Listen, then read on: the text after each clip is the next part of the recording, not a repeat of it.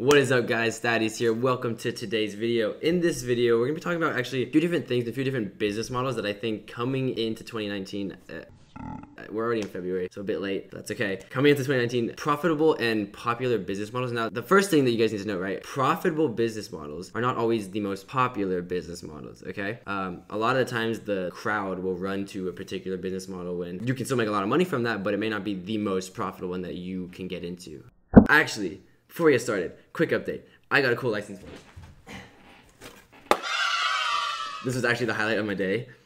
So, I mean, that's kind of depressing, but I thought this was pretty cool. So, moving on to the video now, guys.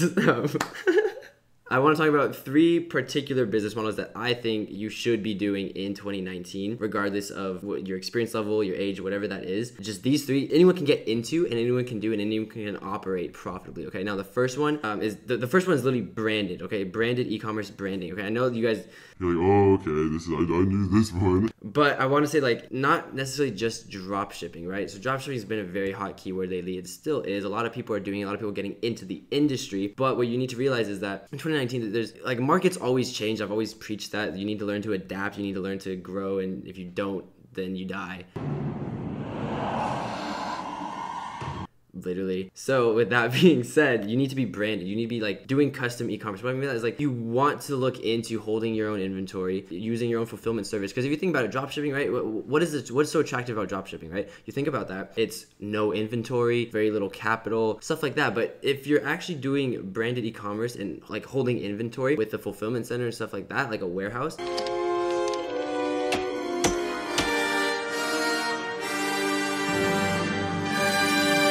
You're technically like you don't have a lot of inventory hassle on your end. A lot of people that promote dropshipping, right? They say, "Oh, there's no inventory hassle, blah blah blah." Like you're just middlemaning stuff. You send it from you know the supplier straight to the customer. And yes, that, that's a very easy business model, and it works, and people can make a lot of money from it. Now, what you gotta notice is one, shipping times are very very long. People are getting sort of accustomed to it. People that have had bad experiences in the past with other online stores, if they see anything remotely similar to that on your site, just purely on a psychological basis, they're gonna associate that bad negative experience from that old store that's not even in relate like not related to you at all with your store, which can hurt you. Okay. Now I'm not saying that's a huge problem right now. That's something you got to keep in mind. Now, if you're doing your own brand, your own e-commerce, like one, you, you have complete control over everything, every single touch point that your customer sees before becoming your customer, right? A potential customer, you are in control of. Okay. A lot of people drop shipping. Okay. You're not doing custom content. You don't have full control of your site. You don't have full control of your logistics and your fulfillment and your back end, your, you know, your, your packaging inserts, your packaging in general, like your actual unboxing experience and the brand identity behind your company, you don't have control over that, okay? You're middlemaning something and you can make a lot of money off of it, okay? Don't get me wrong, like that,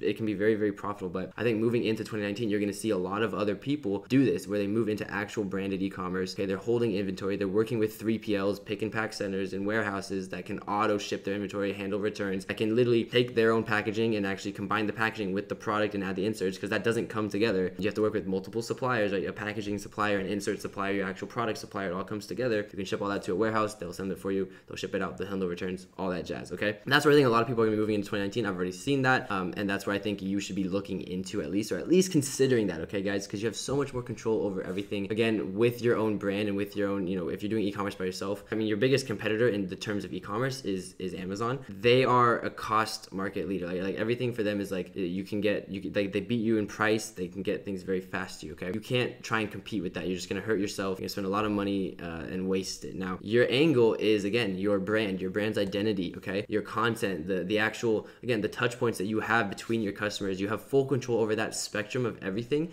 you need to be capitalizing on that. And by moving into branded e-commerce, that's what you're able to do. Now, number two, the second profitable and popular, I think it's going to be more popular, is again just an agency. Now, when when you say a marketing agency or anything like that, most people think social media marketing just because I think Tai Lopez was one of the biggest guys to kind of blow that thing up and kind of make that almost like a mainstream thing um, in terms of that. Like everyone's like, oh, okay, I do SMMA, I do marketing, right? Um, and a lot of people that do that, they're actually they're actually white label, which will bring me into my, my third topic later. But they're, they're not actually doing the marketing themselves. They're just outsourcing it to another third party that's actually doing the marketing. But what I'm saying with that, that can be actually really, really, really profitable, guys, is having an agency that's not necessarily just doing market, like going very niche or niche into an agency. Okay, if you're doing a marketing agency, that that's very broad, right? You're gonna go up to a client like, oh, what do you do? Well, I do this, this, this, this, this. How many clients do you have? Zero. Okay, they're, they're gonna be reluctant to hire you. But if you go, you're prospecting, you know, local restaurants or local businesses, even online businesses, okay, but you do one thing and you do one thing very, very well, for instance, lead generation, like that's it, then they have a much higher chance of hiring you.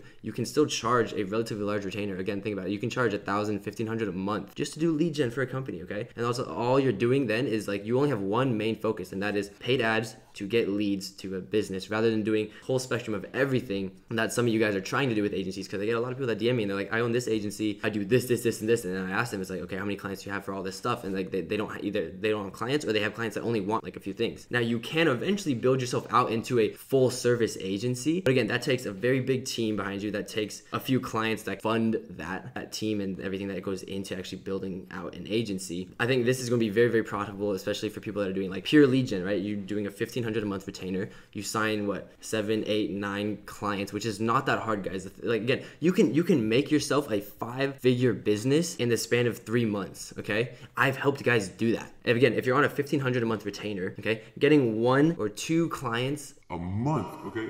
like that's slow, but you can still do it.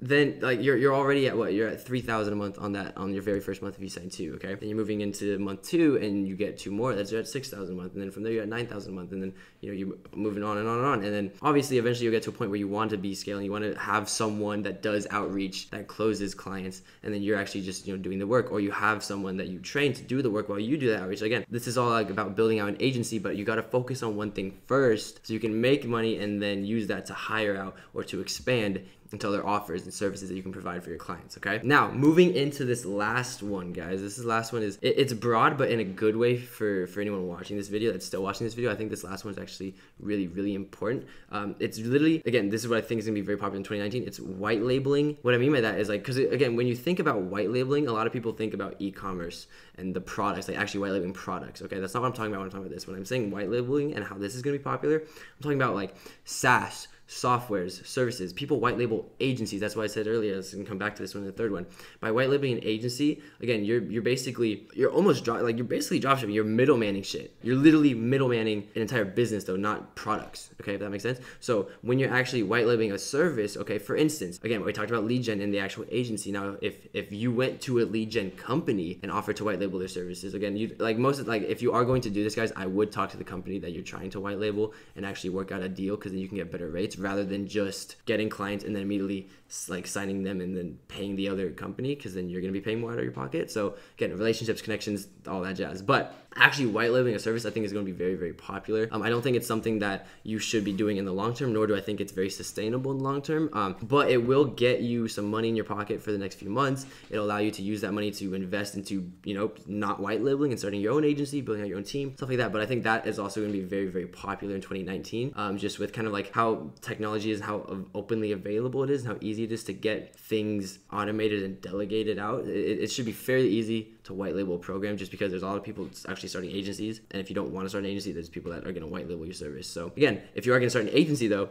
you can find people to white label your service, offer them a little bit of a wholesale rate, and now you have someone that's literally just getting clients for you and then you're just fulfilling on your end. Okay. So again, it, it, all works and plays very well together, guys. But those three things I think are going to be sort of the biggest areas of not even popularity, but just where you can profit this year in 2019 without you know worrying about anything that's too saturated or you know too many comp- like too many competitors too much competition. Like these three things you should not really have to worry about that if again you, you remember narrow down and niche down focus on one one thing get really good at it build up a little bit of a clientele around that okay? And then you can expand and grow. Whereas again if we go back to the first topic branding right with branded e-commerce stuff like that again you're going to focus on one or two product variants okay before actually expanding your product range. Because again you're holding inventory you're not testing a thousand different products you're not doing that. You're building out a brand you're capitalizing on emotion custom content all that jazz okay? So that's really the, the three things i really want to talk to you guys about and i think that are very very important. I want to get the information out to you guys and hopefully give you guys a bit of an idea of what you can be doing going into this. And again, if you ever need help,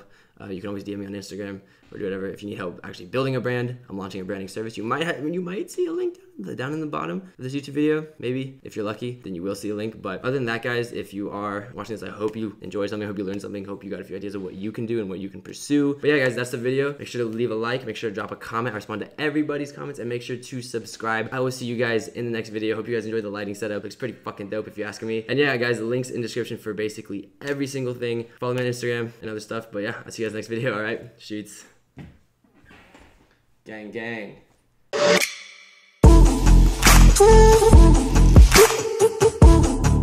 Ooh.